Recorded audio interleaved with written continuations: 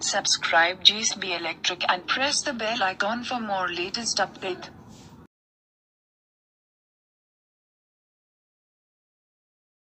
Hello दोस्तों, आज मैं five loop three relay connection का डायग्राम बतला रहा हूँ, क्योंकि ये 92 टू टू एट्टी वोल्ट के लिए स्टेबलाइज़र का जो ट्रांसफार्मर आता है, उसके कनेक्शन के लिए है इसमें दो तरह का आता है, एक तो चार लूप का आता है, जिसका वीडियो मैंने ऑलरेडी डाल रखा है और एक आता है पाँच लूप का। तो इसका भी तीन रिले के साथ कनेक्शन होगा। इस कनेक्शन को भी हम यहाँ कर रहे हैं। इसमें ट्रांसफार्मर का पहले ज़िक्र कर दें। ये ट्रांसफार्मर का प्राइमरी कॉयल है।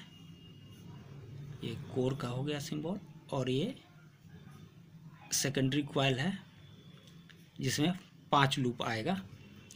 ये ये जो हो गया आपका फ़र्स्ट लूप हो गया, ये सेकंड हो गया, ये थर्ड हो गया, ये फोर्थ हो गया और ये फिफ्थ लूप हो गया। इसमें हमें तीन रिले इंडिकेट मैं यहाँ कर रहा हूँ। ये एन सी हो गया, ये एनो पॉइंट हो गया और बीच का ये कॉमन या पी आप कुछ भी इसे मान लें। ये रिले वन हो गया इसी तरह फिर हम दूसरे रिले का इंडिकेशन यहाँ डाल रहे हैं। ये हमारा दूसरा रिले हो गया। इसका ये कॉमन हो गया पी ये एन सी हो गया और ये एन ओ हो गया। ये हमारा सेकंड रिले हो गया, रिले टू इसी तरह फिर ये तीसरा रिले मैं बना रहा हूँ यहाँ। ये हो गया पी कॉमन। और ये हो गया एन ओ और ये हो गया एन सी ये हमारा रिले थर्ड हो गया।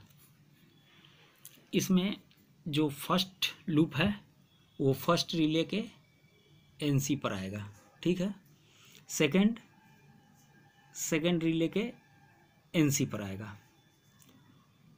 थर्ड जो है, ये थर्ड रिले के एन ओ पर जाएगा। फोर्थ जो है, ये सेकंड रिले के एन पर आएगा। यहाँ आ जाएगा। एक यहाँ हो गया। और ये जो फिफ्थ है, ये थर्ड रिले के एन सी पर चला जाएगा। ये आपका टोटल ट्रांसफार्मर से जो लूप आया, ये रिले के सभी पॉइंट पर कनेक्शन हो गया। अब आप देखेंगे, ये एन खाली है और सेकेंड रिले का पी खाली है तो ये दोनों जो है आपस में शॉर्ट हो जाएगा। इसे आपस में आपको शॉर्ट कर देना है। यानी फ़र्स्ट रिले का एनो सेकंड रिले का कॉमन पी अब ये जो है, एक नंबर रिले यहाँ हम इनपुट सप्लाई देंगे। और ये जो पी है थर्ड रिले का, यहाँ से हम आउटपुट लेंगे। इस तरह से आप पाँच लूप और थ्री रिले के साथ कनेक्शन कर सकते हैं। और दोस्तों, कैसा लगा वीडियो? ज़रूर लाइक, शेयर, कमेंट करेंगे। धन्यवाद।